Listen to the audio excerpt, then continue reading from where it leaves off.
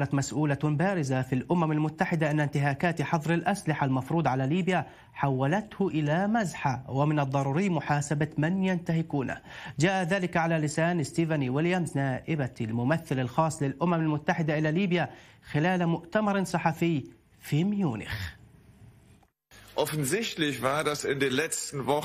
مؤخرا لقد كان هناك العديد من الانتهاكات الكبيرة لحظر الأسلحة بشكل واضح وكانت هناك تفسيرات ليبية مختلفة حول ذلك إلا أن الجميع يتفقون على أن الطريق الذي سلكناه والذي هو فصل الأطراف المتصارع عن أنصارها لا يزال الطريق الوحيد المحتمل للتوصل إلى نتيجة ناجحة في إنهاء الحرب الأهلية في ليبيا.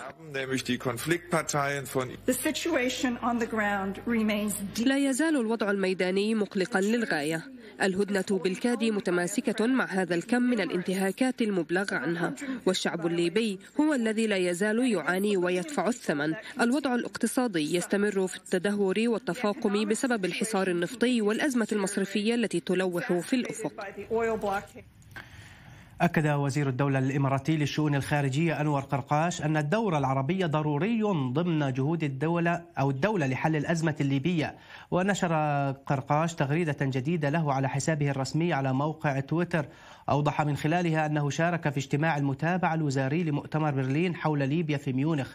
وفي سياق متصل طالب المشاركون في الاجتماع الوزاري للجنة المتابعة الدولية المنبثقة عن قمة مؤتمر برلين حول ليبيا طالبوا بضرورة إيلاء الأهمية اللازمة لمسار محاربة ما وصفوه بالإرهاب بالتوازي مع جهود التوصل لتسوية شاملة لهذه الأزمة الليبية.